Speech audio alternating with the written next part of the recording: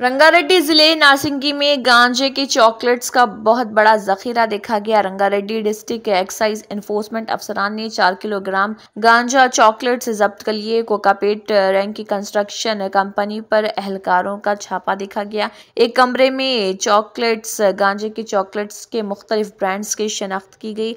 Enforcement अफसरान ने सोमिया राजन को उड़ीसा से गिरफ़्तार किया। गांजा चॉकलेट उड़ीसा से लाई जाती और हैदराबाद में बेची जाती थी। इंजीनियरिंग के तलबा, सॉफ्टवेयर मुलाजमिन और मजदूरों को चॉकलेट की फरोख्त की जा रही थी। उड़ीसा में कम कीमत पर लाए गए गांजा चॉकलेट हैदराबाद में ज़्यादा कीमत पर फरोख्त होते थे। शमशाबाद एक्साइज पुलिस से एनडीपीएस एक्ट के तहत मुकदमा दर्ज कर लिया और तहकीकात शुरू कर दी।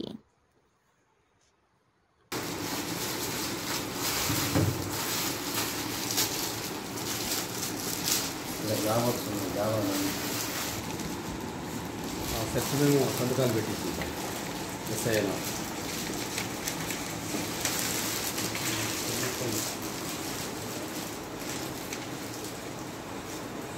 వీడియో కూడా తీసుకున్నారా మా మాటలు లోపల పడుతున్నాయా అక్కడ డిలీట్ చేయాలి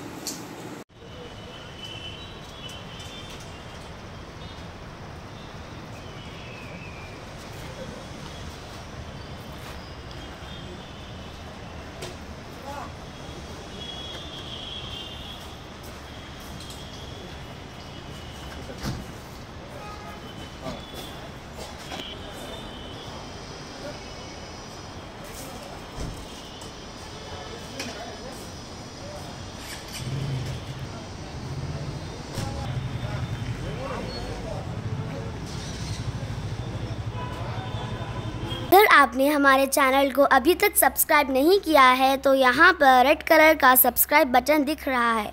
उसे क्लिक करें और हमारे चैनल को सब्सक्राइब कीजिए। और साथ ही साथ बेल आइकन को भी क्लिक कीजिए, जिससे आपको ताज़ा ताज़ा अपडेट मिलती रहे।